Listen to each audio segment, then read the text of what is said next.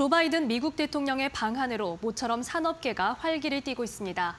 특히 바이든의 삼성전자 반도체 공장 방문 소식으로 삼성전자의 위상이 한 단계 높아졌다는 평가가 나오는데요. 이를 계기로 7만 전자 복귀 기대감도 커지고 있습니다. 이혜라 기자의 보도입니다. 바이든 대통령의 첫 행보는 삼성전자의 평택 반도체 공장 방문이었습니다. 삼성전자는 세계 첫 3나노미터 파운드리 준비가 차질 없이 진행되는 점을 부각했고 미국 반도체 장비사와의 협력 모습도 가감 없이 드러냈습니다.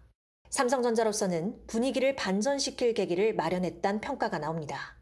파운드리 수율 논란, 스마트폰 고의 성능 저하 이슈 등으로 고전을 면치 못했지만 이번에 기술력을 재차 증명하며 한미 간 반도체 협력, 또 일본과 대만으로 이어지는 칩보 동맹을 이끌어갈 중심축으로서의 입지를 다졌다는 겁니다. 뭐 국익 차원에서는 당연히 상당히 큰 도움이 되는 오케이션이었고요. 삼성전자 입장에서도 반도체가 전 세계적으로 그 브랜드 파워를 알리는 데는 도움이 됐다고 판단이 됩니다.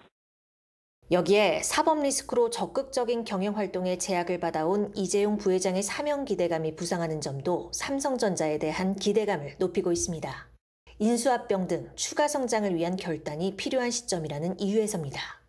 이렇다 보니 삼성전자의 주가 향방에도 관심이 높아지고 있습니다. 외국인 기관의 매도 공세로 올 들어 줄곧 내림세를 보인 삼성전자. 우려 요인을 해소하는 계기가 된 만큼 7만 전자를 향한 재시동의 근거를 확보했다는 의견이 나옵니다.